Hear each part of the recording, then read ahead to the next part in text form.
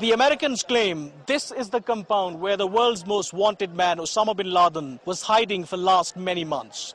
It is located in the city of Abbottabad, about 100 kilometers north of the capital, Islamabad. The compound is spread over an area of 3,000 square yards and it has huge walls with barbed wires on it. This huge mansion has now been taken over by Pakistan's security forces. The media is not allowed to go inside. In this compound, it's... Uh, you know, this man who lives few yards away from the compound recalls the events of that night when the US forces reportedly raided the place. It was quarter to one when the operation started and uh, uh, we, we heard rapid gunshots, I mean fired, fired uh, initially. We, we, we saw three helicopters, two helicopters coming in here.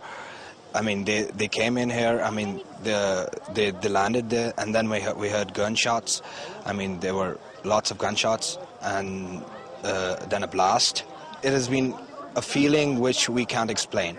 I mean, it has never happened here in Abbottabad before, and you know, it, it, it was horrifying for, for the people of Abbottabad.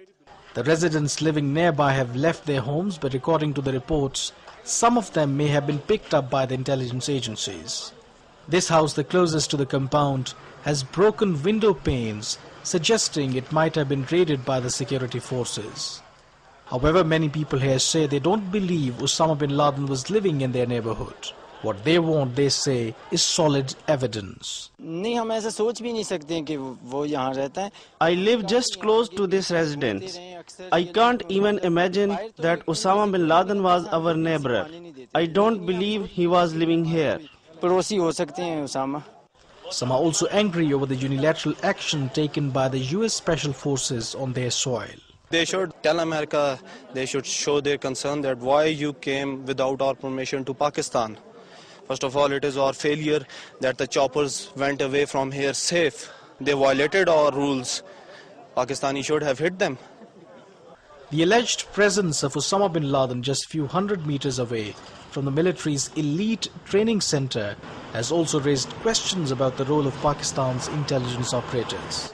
The government said in a statement its security agencies had been sharing intelligence with the CIA about the compound since March 2009.